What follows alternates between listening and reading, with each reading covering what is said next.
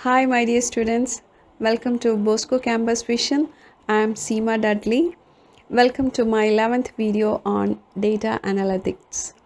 In this video, we will discuss about the advantage of using big data analytics in the organizations.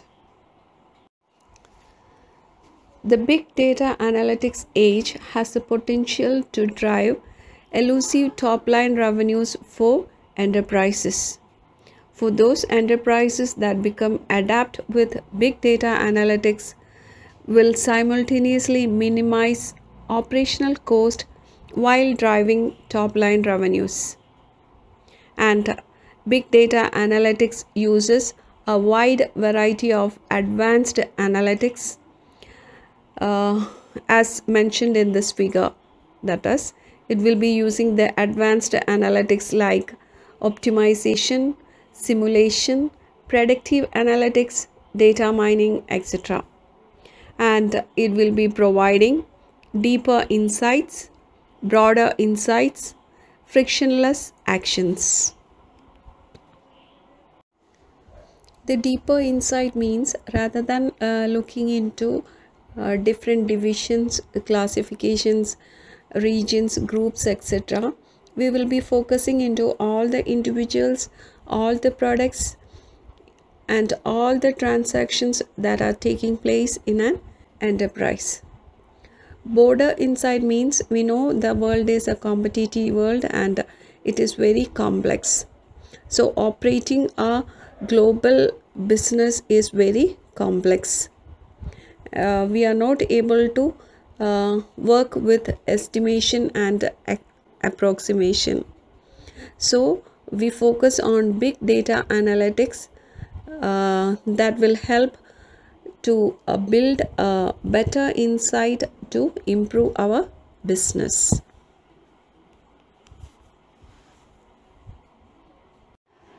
The third factor that can be achieved by using big data analytics is the frictionless actions. That is, that the insights that we get from deeper analysis and border analysis can be put into action by using this factor that is the frictionless actions. For example, a leading technology industry research firm that is GigaOm uses a simple framework to describe the potential big data business models for the enterprises. Okay, uh, the three terms they explain are to improve operational efficiencies, to increase the revenue, and uh, to achieve competitive differentiation and the points to improve operational efficiencies are reduce risk and cost. It saves time.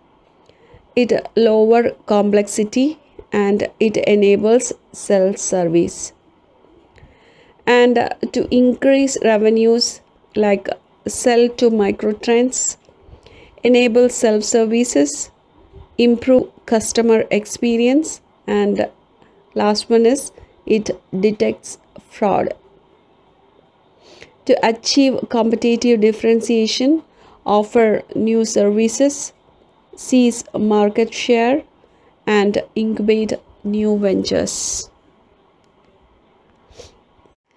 The data analytics uh, represents an enormous opportunity for businesses to exploit the data assets they, they have the key to success for organizations seeking the advantage of this data analytics is first one leverage all your current data and enrich it with new data sources.